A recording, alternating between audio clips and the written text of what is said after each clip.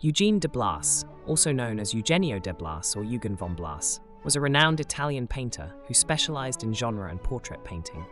He was born on July 24, 1843, in Albano, near Rome, Italy, into an artistic family. His father, Karl von Blaas, was a successful Austrian history painter, and his brother Julius von Blaas was a well known animal and landscape painter. The creative environment in which he grew up significantly influenced Eugene's career choice and artistic style.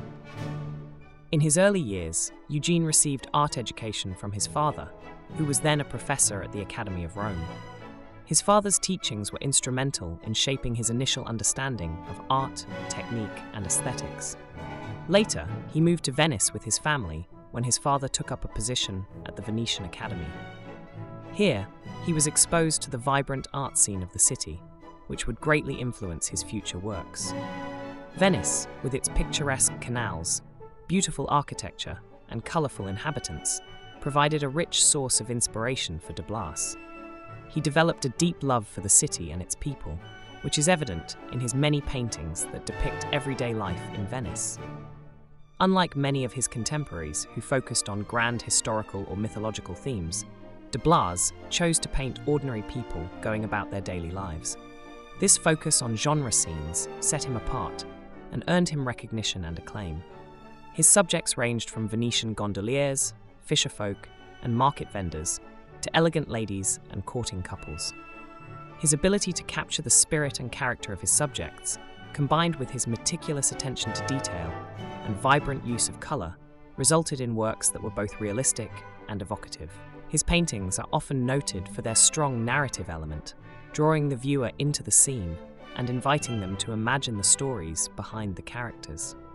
In addition to his genre scenes, de Blaas also gained recognition as a portrait painter. His portraits are characterized by their psychological depth and sensitivity, revealing a keen understanding of human nature. He was able to capture not just the physical likeness of his subjects, but also their inner world, making his portraits compelling and lifelike.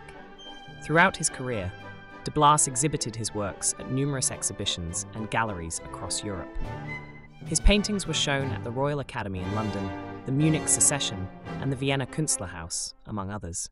His works were well received, earning him several awards and honours.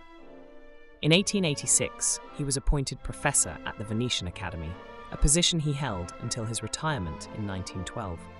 Despite his success and recognition, de Blaas remained a humble and dedicated artist. He continued to live and work in Venice, finding endless inspiration in the city and its people. He painted until his final years, leaving behind a rich body of work that continues to be admired and studied today. De Blaas passed away on February 10, 1932, in Venice, leaving a lasting legacy in the world of art. His works are held in numerous public and private collections worldwide, including the Museum of Fine Arts in Boston, the Art Gallery of New South Wales in Sydney, and the National Gallery in London.